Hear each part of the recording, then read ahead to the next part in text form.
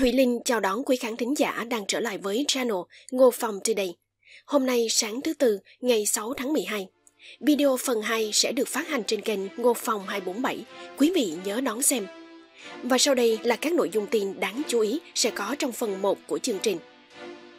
Phó Tổng thống Kamala Harris phá kỷ lục về số phiếu ngang bằng tại Thượng viện. Thượng viện đột phá trong việc chuẩn thuận các vị trí quân đội, kết thúc 10 tháng chờ đợi. Bộ Ngoại giao Hoa Kỳ trừng phạt những người định cư Do Thái cực đoan ở bờ Tây sẽ bị cấm vào Mỹ. Kế hoạch nâng cấp hỏa tiễn Tomahawk của Mỹ, tăng cường năng lực quân sự đối phó Trung Quốc và bảo vệ Đài Loan. Chiến lược mới của Văn phòng Công tố đặc biệt trích dẫn các tuyên bố sai lầm từ lâu về bầu cử của Trump làm bằng chứng về động cơ. Liz Cheney cân nhắc tranh cử tổng thống trong tư cách đại diện đảng thứ ba. Chủ đề bàn luận liệu dây cứu sinh của Ukraine từ Hoa Kỳ có bị đứt trong gan tấc? Và nhiều tin khác nữa. Kính thưa quý vị, Phó Tổng thống Kamala Harris đã tạo nên dấu ấn lịch sử trong tuần này khi bà thực hiện phiếu bầu quyết định thứ 32 của mình trong cương vị Chủ tịch Thượng viện theo hiến pháp. Điều này đã phá vỡ kỷ lục 200 năm trước về số lượng phiếu bầu nhiều nhất được một phó tổng thống thực hiện tại Thượng viện. Nghĩa là bà Harris đã bỏ phiếu tại Thượng viện nhiều hơn bất kỳ phó tổng thống nào trong 200 năm qua. Kỷ lục trước đây, 31 phiếu bầu, được thiết lập bởi Phó Tổng thống John Calhoun vào năm 1832. Calhoun mất tới 8 năm để đạt được con số đó. Việc bà Harris phá vỡ kỷ lục của ông Calhoun không chỉ mang ý nghĩa lịch sử vì thành tích, mà còn bởi ông Cowen từng là một người ủng hộ chế độ nô lệ và là nhân vật chủ chốt trong phong trào ly khai miền Nam, dẫn đến nội chiến Mỹ. Sự kiện một phụ nữ da màu là Phó Tổng thống Harris phá kỷ lục có ý nghĩa đặc biệt. Trưởng đa số thượng viện, ông Chuck Schumer, phát biểu. Đây là một khoảnh khắc lịch sử đối với Thượng viện Hoa Kỳ.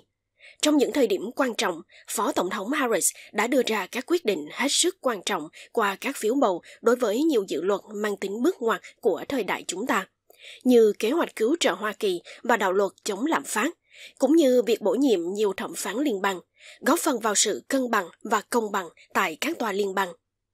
Dân biểu James Clyburn, trợ lý lãnh đạo Dân chủ Hạ viện, cũng nhận định khoảnh khắc lịch sử này sẽ được nhớ đến như một biểu tượng cho những tiến bộ mà chúng tôi đã đạt được dưới thời chính quyền Biden-Harris. Cuộc bỏ phiếu hôm thứ Ba đã nâng cao đề cử của Lauren Ali Khan vào Tòa án quận Hoa Kỳ tại DC.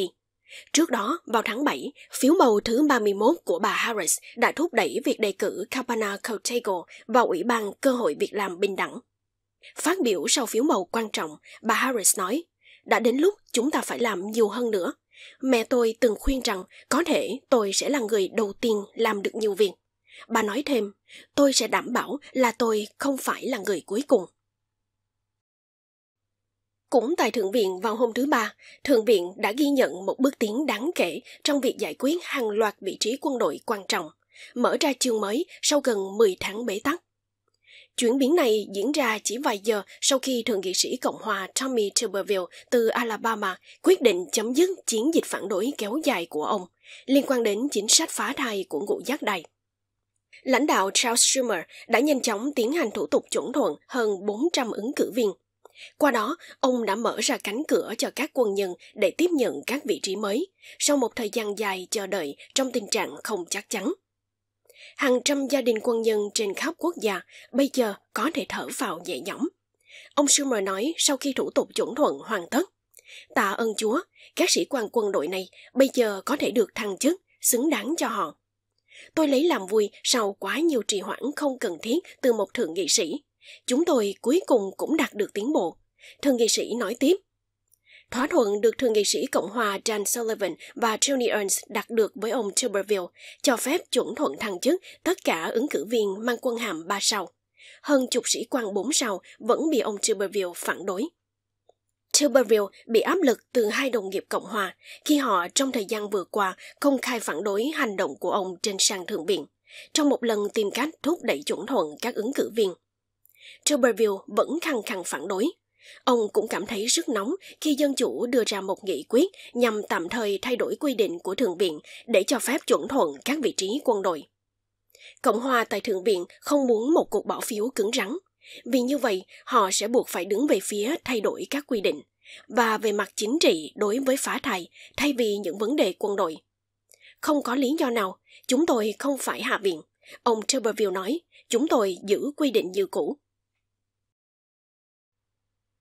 Trong một hành động trừng phạt hiếm hoi đối với Israel, Bộ Ngoại giao Hoa Kỳ vào thứ Ba đã thông báo sẽ áp đặt lệnh cấm đi lại đối với những người định cư Do Thái cực đoan. Điều này xuất phát từ liên quan của họ đến chuỗi cuộc tấn công gần đây nhằm vào người Palestine tại khu vực bờ Tây bị chiếm đóng. Ngoại trưởng Antony Blinken đã công bố quyết định sau loạt cảnh báo gửi tới Israel trong tuần trước, khẳng định rằng chính quyền của Tổng thống Joe Biden sẽ không ngần ngại hành động trước các vụ tấn công. Ông Blinken không nêu rõ danh tính những người bị cấm thị thực, nhưng phát ngôn viên Bộ Ngoại giao Matthew Miller cho biết lệnh cấm bắt đầu có hiệu lực từ thứ ba. Được biết, lệnh cấm sẽ ảnh hưởng tới hàng chục người định cư cùng gia đình họ, và con số này có thể tăng lên nếu tình trạng bạo lực tiếp diễn. Ông Miller từ chối cung cấp con số cụ thể và không xác định bất kỳ mục tiêu nào vì lý do an ninh. Đại sứ quán Israel tại Washington chưa đưa ra bình luận nào về vấn đề này.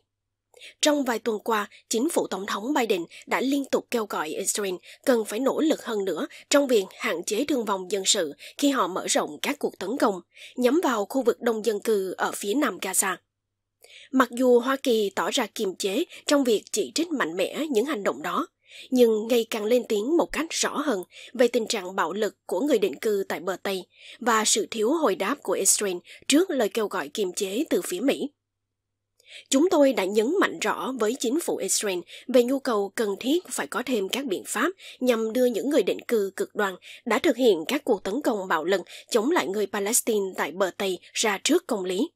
Ngoại trưởng Blinken đã phát biểu. Như Tổng thống Biden đã nhiều lần nhấn mạnh, những hành động tấn công này là điều không thể chấp nhận. Theo văn phòng điều phối các vấn đề nhân đạo thuộc Liên Hợp Quốc đã báo cáo hôm thứ Hai, từ ngày 7 tháng 10 đã có ít nhất 8 người Palestine ở bờ Tây bị giết bởi các người định cư. Theo cơ quan này, đã xảy ra 314 cuộc tấn công do người định cư thực hiện, gây thương vong cho người Palestine và thiệt hại tài sản của họ, hoặc cả hai. Trong số đó, một phần ba các vụ tấn công bao gồm việc sử dụng súng, kể cả các vụ xả súng, và gần một nửa trong số này có sự hỗ trợ hoặc đồng hành cùng của lực lượng Israel. Ngoại trưởng Blinken cũng khẳng định, Hoa Kỳ sẽ tiếp tục theo đuổi trách nhiệm pháp lý cho các hành vi bạo lực của người định cư đối với người Palestine, cũng như các cuộc tấn công của người Palestine chống lại người Israel ở bờ Tây và trên lãnh thổ Israel đặc biệt trong bối cảnh căng thẳng gia tăng do xung đột ở Gaza. Cả Israel và chính quyền Palestine đều có trách nhiệm duy trì ổn định tại bờ Tây. Ông Blinken nhấn mạnh, sự bất ổn ở đây không những gây tổn hại cho người dân Israel và Palestine mà còn đe dọa đến lợi ích an ninh quốc gia của Israel. Hành động này của Bộ Ngoại giao vào thứ Ba diễn ra chỉ một tháng sau khi Israel được chấp thuận tham gia chương trình miễn thị thực của Hoa Kỳ cho phép công dân Israel nhập cảnh miễn thị thực vào Mỹ. Những người bị ảnh hưởng bởi biện pháp mới sẽ không đủ điều kiện tham gia chương trình, và những người hiện đang sở hữu thị thực Hoa Kỳ sẽ bị yêu cầu thu hồi. Liên quan đến châu Á, Hải quân Hoa Kỳ đang lên kế hoạch tăng cường khả năng chiến đấu vào năm 2024, đặc biệt thông qua việc nâng cấp hỏa tiễn Tomahawk để đối phó với sự thách thức từ Hải quân Trung Quốc, nhất là ở vùng biển quanh Đài Loan. Phiên bản mới của hỏa tiễn Tomahawk được thiết kế để tấn công các mục tiêu di động trên biển, sẽ được đưa vào hoạt động từ ngày 1 tháng 10. Hỏa tiễn này lần đầu tiên xuất hiện trong chiến tranh vùng vịnh Ba Tư, sẽ góp phần làm tăng khả năng tấn công từ xa của Hải quân Hoa Kỳ, giúp đối phó với ưu thế về số lượng của hạm đội Trung Quốc. Kế hoạch cũng bao gồm việc triển khai võ khí trên các chiến hạm, nhưng các võ khí này dễ bị tổn thương hơn trước kho võ khí của Trung Quốc. Đài Loan với ngành công nghiệp bán dẫn quan trọng là trung tâm chiến lược, kinh tế và chính trị đối với Hoa Kỳ. Kế hoạch của Hải quân Mỹ cũng gần như trùng khớp với kế hoạch của ngũ giác đài triển khai hàng ngàn máy bay không người lái trong khu vực Ấn Độ Dương, Thái Bình Dương để đối phó với Trung Quốc từ tháng 2 đến tháng 8 năm 2025. Ngoài ra, sự tiến triển cũng xảy ra song song với việc mở rộng liên minh an ninh giữa Hoa Kỳ, Anh Quốc và Úc bao gồm cả việc ứng dụng trí tuệ nhân tạo trong việc theo dõi tàu ngầm Trung Quốc. Trong tương lai, Nhật Bản có thể được trang bị hỏa tiễn chống hạm mới, một bước tiến quan trọng trong cân bằng quyền lực quân sự ở khu vực. Theo thông báo của Bộ Ngoại giao Hoa Kỳ vào tháng 12, Tokyo sẽ được phép mua hỏa tiễn Tomahawk với thỏa thuận lên tới 2,35 tỷ đô cho tối đa 200 đầu đạn hỏa tiễn. Điều này diễn ra trong bối cảnh Trung Quốc với số lượng lớn bao gồm 370 chiến hạm và tiềm thủy đỉnh tiếp tục bành trướng sức mạnh quân sự. Trong khi Hải quân Hoa Kỳ có 291 chiến hạm sẵn sàng chiến đấu và đang chú trọng vào việc nâng cấp kho vũ khí hỏa tiễn phòng không và hỏa tiễn chống hạm tầm xa có khả năng phóng từ cả oanh tạc cơ B-1B và các loại chiến đấu cơ tối tầng. Trở lại với Hoa Kỳ, trong một diễn biến mới nhất liên quan đến vụ J6, công tố đặc biệt Jack Smith đang cho thấy ý định sử dụng chuỗi tuyên bố sai sự thật về gian lận bầu cử của ông Trump kéo dài hơn một thập niên. Mục đích là để chứng minh động cơ, ý định và kế hoạch của ông ta trong việc bám víu quyền lực. Trong một hồ sơ tòa án mới, bên công tố đã chỉ ra rằng Trump có một quá khứ từ chối chấp nhận quyền lực chuyển giao một cách hòa bình. Đồng thời, ông còn có thói quen loại bỏ những người phản đối các tuyên bố gian lận không có cơ sở của ông, bao gồm cả cựu chánh văn phòng của Ủy ban Quốc gia Cộng hòa và một nhân viên bầu cử ở Georgia, thậm chí đôi khi khích lệ bạo lực chống lại họ. Theo hồ sơ tòa, Molly Gaston, trợ lý công tố đặc biệt, đã viết rằng Bộ Tư pháp dự định sẽ đưa ra bằng chứng tại phiên tòa vào năm sau về một đồng phạm được giấu tên và không bị buộc tội người đã làm việc trong chiến dịch bầu cử 2020 của Trump. Người này được cho là đã gửi tin nhắn cho một luật sư Trump, trong đó khích lệ bạo động và các phương pháp cản trở khác sau khi cuộc kiểm phiếu tại trung tâm TCF ở Detroit nghiêng về phía ứng viên Joe Biden vào ngày 4 tháng 11 năm 2020. Cùng trong khoảng thời gian đó, một viên chức bầu cử tại địa điểm Detroit đã chứng kiến đám đông đổ về khu vực và đưa ra những thách thức không chính đáng và hung hăng đối với tổng số phiếu, theo hồ sơ của Bộ Tư pháp. Về phần mình, Trump đã đăng tải những tuyên bố sai lệch về hoạt động bầu cử ở đó. Trong khi sự thật là người đại diện của Trump đang tìm cách gây ra một cuộc bạo động để làm gián đoạn quá trình kiểm phiếu. Công tố viên Gaston biết trong hồ sơ tòa. Bằng chứng này được cho là có giá trị để chứng minh rằng bị cáo, các đồng phạm và bên đại diện cho Trump biết rằng bị cáo đã thua cuộc bầu cử, cũng như ý định và động cơ của họ nhằm cản trở và lật đổ kết quả hợp pháp. Công tố Gaston biết thêm. Bên công tố cũng muốn trình bày bằng chứng về việc Trump ủng hộ một số kẻ bạo loạn hung bạo nhất đã xông vào Capitol Hill vào ngày 6 tháng Giêng. Những người mà Trump đã hỗ trợ về mặt tài chính và ngôn từ. Trump đã gọi một số bị cáo là con tin và đã nói rằng ông có thể tìm cách ân xá cho một số lượng lớn trong số họ. Bộ Tư pháp Hoa Kỳ đã nhấn mạnh rằng sự ủng hộ lâu dài của Trump đối với các thành viên trong đám đông nổi dậy ở Capitol và các thủ lĩnh của nhóm cực đoan Proud Boys là bằng chứng về ý định của ông trong việc âm mưu cướp đoạt quyền bầu cử của người dân và gian lận chính phủ mà ông đã từng lãnh đạo. Điều đó cho thấy những người này đã hành động theo sự chỉ đạo của ông. Thực tế, bằng chứng này cho thấy rằng việc người biểu tình gây rắc rối quá trình chứng nhận kết quả bầu cử chính xác là điều mà bị cáo muốn vào ngày 6 tháng Giêng. Bên công tố viết. Hồ sơ mà một phần vẫn còn được che giấu liên quan đến một quy tắc của thủ tục hình sự liên bang, quy định cách mà bên công tố có thể giới thiệu bằng chứng về những hành vi xấu trước đây của bị cáo. Quy tắc này cho phép bên công tố cung cấp thông tin với mỗi thẩm đoàn về các tội án không bị buộc tội, nếu nó giúp chứng minh những yếu tố như động cơ, ý định và sự chuẩn bị. Trong trường hợp này, thẩm phán khu vực Hoa Kỳ Tanya Chicken sẽ có quyết định cuối cùng sau khi nhận được phản hồi bằng văn bản từ đội ngũ pháp lý Trump. Tóm gọn lại, hồ sơ tòa án mới nhất đã tiết lộ kế hoạch rộng hơn rất nhiều của văn phòng công tố đặc biệt Jack Smith so với những gì chúng ta biết sử dụng chính những thuyết âm mưu mà ông Trump đã rao giảng về các cuộc bầu cử năm 2012 và 2016 như một phần của chiến thuật tại phiên tòa. Ý đồ đằng sau việc này không chỉ là để khẳng định rằng Trump từ rất lâu đã thường xuyên phát ngôn sai sự thật về bầu cử, mà còn để chứng minh một điều mạnh mẽ hơn. Trump không chỉ đưa ra những tuyên bố vô căn cứ một cách ngẫu nhiên, mà thực sự đó là một phần của một chiến lược tinh vi nhằm định hình và đầu độc dư luận. Mục tiêu của bên công tố qua đó là làm sáng tỏ rằng những tuyên bố của Trump không phải xuất phát từ niềm tin trung thực về những sai sót trong bầu cử, mà thay vào đó chúng là những toan tính chính trị được tạo ra một cách có hệ thống.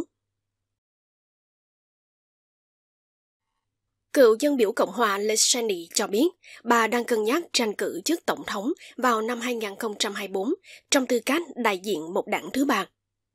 Trong các cuộc phỏng vấn trên phương tiện truyền thông hôm thứ Ba, cựu dân biểu đến từ Wyoming cho biết bà đang cân nhắc việc tranh cử vào tòa bạch ốc trong năm tới với tư cách là ứng viên bảo thủ của một đảng thứ ba hoặc một liên danh bao gồm hai ứng cử viên thuộc đảng Dân Chủ và Cộng Hòa. Và trong ngày hôm nay, bốn ứng cử viên tổng thống đủ điều kiện sẽ tham gia cuộc tranh luận sơ bộ lần thứ tư của đảng Cộng Hòa.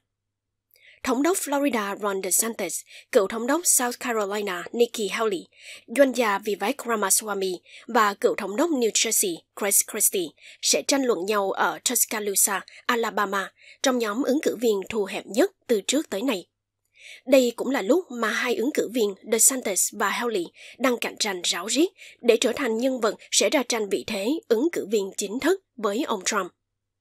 Trước đó, hôm thứ Hai, Thống đốc North Dakota Joe Burgum đã loan báo chấm dứt cuộc vận động để được đảng Cộng Hòa chọn làm ứng cử viên tổng thống, sau khi đã lên tiếng gay gắt chỉ trích đảng mình đã đưa ra các điều kiện gắt gao hơn để thu hẹp nhóm người được tiếp tục tham gia các cuộc tranh luận sơ bộ. Cựu thống đốc Arkansas Asa Hutchinson vẫn chưa chịu rời bỏ cuộc chạy đua vào tòa bạch ốc, mặc dù ông không hội đủ điều kiện để tham gia các cuộc tranh luận trước đó của đảng Cộng Hòa kể từ lúc ông khởi sự tham gia tranh luận lần thứ nhất ở Milwaukee hồi tháng 8. Trong khi đó, bên phía đảng Dân Chủ sẽ có một cuộc họp báo của giới chức thuộc các ủy ban tranh cử của Tổng thống Joe Biden và một số gương mặt nổi bật của đảng Dân Chủ vào hôm nay nhằm lượng định tình hình tổng quát và thảo luận về những gì cần phải đối phó trong những ngày tháng tới. Phần cuối chương trình mời quý vị đến với chủ đề bàn luận liệu dây cứu sinh của Ukraine từ Hoa Kỳ có bị đứt trong găng tấc? Thưa quý thính giả, Tổng thống Nga Vladimir Putin đã táo bạo với giả định rằng Hoa Kỳ và các nước phương Tây sẽ nhanh chóng kiệt sức trước cuộc chiến tàn khốc do ông khơi mào. Điều này ngày càng trở nên có lý khi thời gian trôi qua. Chỉ gần 7 tuần sau khi Tổng thống Joe Biden đề nghị Quốc hội chi 60 tỷ đô la cho việc cung cấp võ khí và đạn dược tới Kiev, cùng với 14 tỷ dành cho Israel – mọi thứ vẫn đang bế tắc. Tình hình càng trở nên tồi tệ khi viện trợ cho Ukraine bị phe Cộng hòa ngăn chặn trong một vụ lung xung liên quan đến chính sách nhập cư. Sự bế tắc đó, cùng với viễn cảnh Quốc hội không kịp hành động trước kỳ nghỉ, đã khiến Tòa Bạch Ốc phải cảnh báo vào hôm thứ Hai về một thời điểm quyết định sắp đến trong cuộc chiến. Jake Sullivan, cố vấn an ninh quốc gia, đã bày tỏ quan ngại. Chúng tôi đang cạn kiệt ngân sách và thời gian. Chính quyền đang thể hiện thái độ cứng rắn, khẳng định rằng bất kỳ nhà lập pháp nào chống lại việc tài trợ đều đứng về phía lãnh đạo Nga. Ông nói và nói thêm, một phiếu bầu chống lại hỗ trợ Ukraine chính là một phiếu bầu giúp cải thiện vị thế chiến lược của Putin. Những bình luận của ông Sullivan được đưa ra sau khi Salander Young, giám đốc văn phòng quản lý và ngân sách, cảnh báo chủ tịch hạ viện Mike Johnson trong một bức thư. Nếu Mỹ cắt giảm nguồn cung cấp võ khí và trang thiết bị, Điều này sẽ làm suy yếu vị thế của Ukraine trên chiến trường, không chỉ làm mất đi những thành tựu mà họ đã đạt được, mà còn làm tăng cơ hội chiến thắng cho quân xâm lược Nga. Đại sứ Ukraine tại Hoa Kỳ Oksana Makarova cũng kêu gọi các nhà lập pháp không bỏ rời đất nước của bà. Trong cuộc trò chuyện với Wolf Blitzer của CNN, bà nói, sau những chiến thắng mà chúng tôi đã giành được, bây giờ chúng tôi không thể chấp nhận thất bại. Chúng tôi đang cầu nguyện và hy vọng sẽ nhận được thêm sự hỗ trợ từ người dân Mỹ. Câu hỏi đặt ra, liệu Hoa Kỳ có thể cam kết hỗ trợ lâu dài cho Ukraine hay không? Giọng điệu cảnh báo của chính quyền đang dấy lên nghi vấn.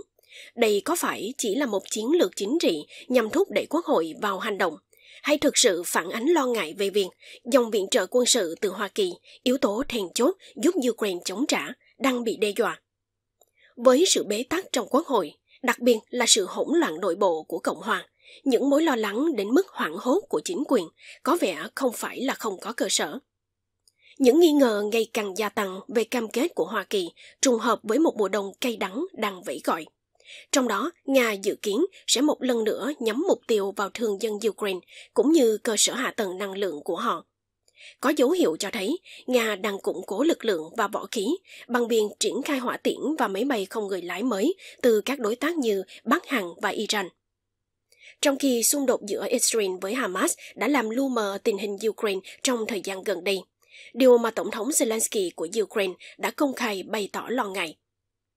Trong khi sự sống còn của Ukraine đang bị đe dọa, thì danh tiếng của Hoa Kỳ với tư cách là nhà lãnh đạo toàn cầu cũng đang bị đe dọa.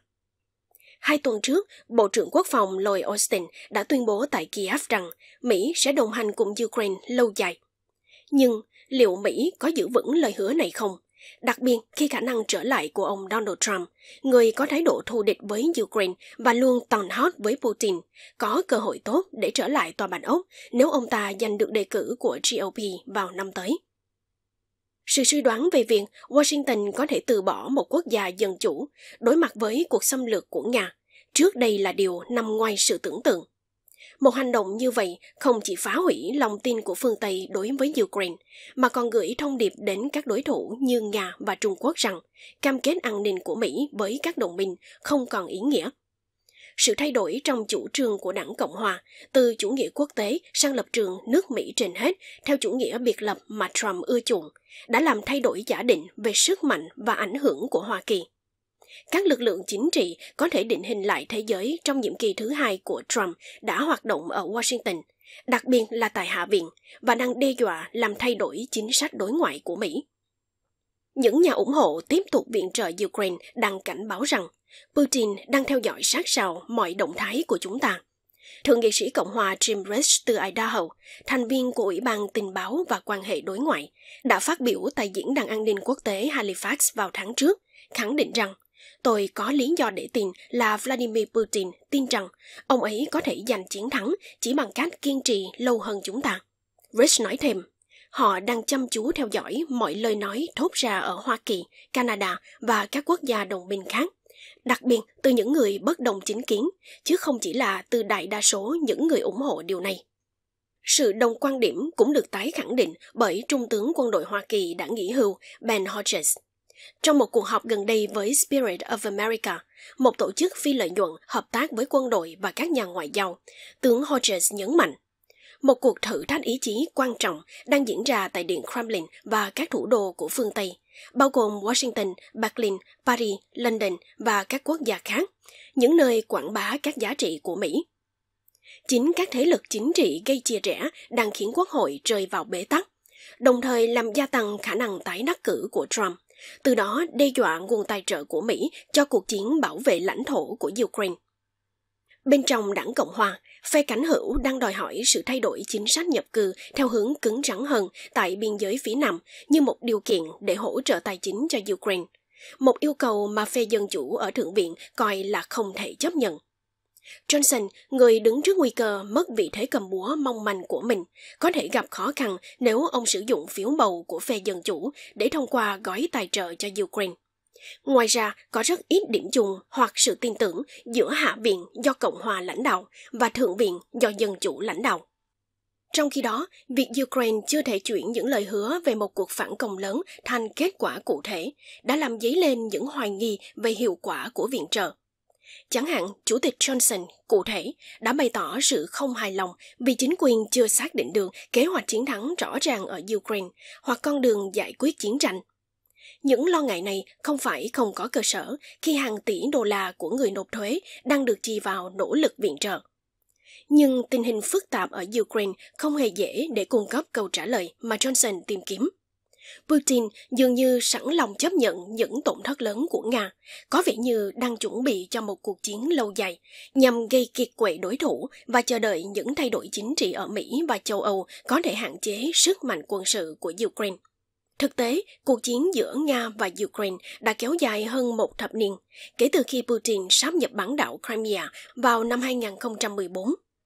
Khi cuộc chiến ngày càng trở nên bế tắc, cả Nga và Ukraine đều chưa thể tiến gần đến một cuộc đàm phán, vì cả hai bên đều đặt cược cao vào việc tránh thất bại. Tổng thống Biden đã đề xuất một gói ngân sách trị giá 13,6 tỷ đô nhằm tăng cường an ninh biên giới Mỹ-Mexico, đi kèm với các yêu cầu viện trợ cho Israel và Ukraine để tạo điều kiện thuận lợi cho việc thông qua các giải pháp. Đáng chú ý, gói ngân sách cũng bao gồm 7,4 tỷ dành cho Đài Loan. Nhưng đảng Cộng Hòa đang tìm cách thay đổi cả chính sách lẫn nguồn tài trợ. Trong Hạ viện, họ đang đẩy mạnh các dự luật mới dựa trên HR2, một dự luật bao gồm nhiều chính sách nhập cư cứng rắn của thời Trump và thay đổi luật tị nạn. Một nhóm thượng nghị sĩ lưỡng đảng đã dành nhiều tuần để tìm kiếm sự thỏa hiệp. Nhưng vào hôm thứ Hai, có những báo cáo mâu thuẫn về việc liệu họ có thể đạt được thỏa thuận hay không. Trưởng phe đa số tại Thượng viện, ông Chuck Schumer, đang gia tăng sức ép lên các thượng nghị sĩ Cộng hòa ủng hộ viện trợ cho Ukraine.